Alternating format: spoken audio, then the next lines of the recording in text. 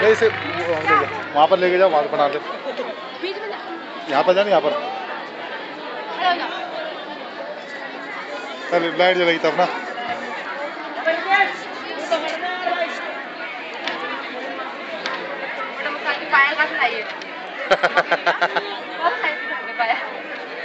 चलो भाई क्या हुआ?